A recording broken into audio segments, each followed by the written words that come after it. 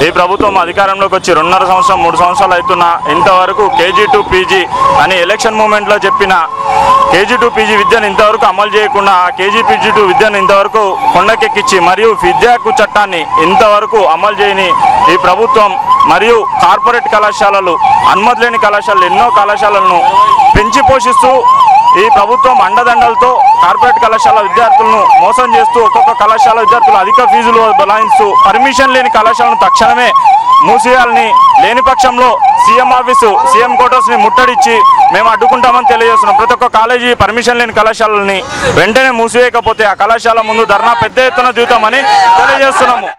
ఆంధ్రప్రదేశ్ తెలంగాణ రాష్ట్ర వ్యాప్తంగా విద్యార్థులు ఏ కళాశాలలో చదువుతున్నారు వాటికి గుర్తింపు ఉన్నదా సరైన మౌలిక వసతులు ఉన్నాయా లేవా అనే అంశాన్ని మాత్రం విస్మరిస్తున్నారు.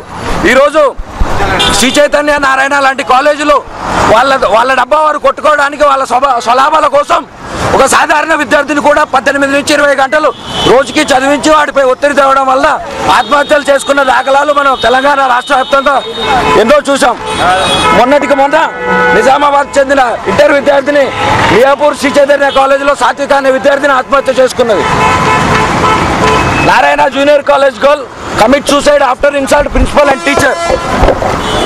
Anvitha Reddy అనే అమ్మాయి శ్రీ చైతన్య ఎల్బీ నగర్ కాలేజ్లో ఆత్మహత్య చేసుకున్నది. తెలంగాణ రాష్ట్ర ప్రభుత్వం కార్పొరేట్ కళాశాలలకు ఎందుకు కొమ్ము కాస్తుందో ఈరోజు వారికి వారు పరిశీలించుకోవాల్సిన పరిస్థితి.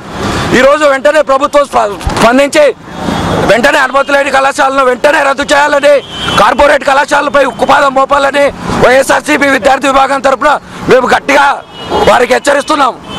వెంటనే ప్రభుత్వం స్పందించి చర్యలు తీసుకోకపోతే మా పోరాటాన్ని ఉధృతం చేస్తామని రాష్ట్ర వ్యాప్తంగా ధర్నాకు దిగుతామని మేము ఈరోజు ప్రభుత్వాన్ని హెచ్చరిస్తున్నాం.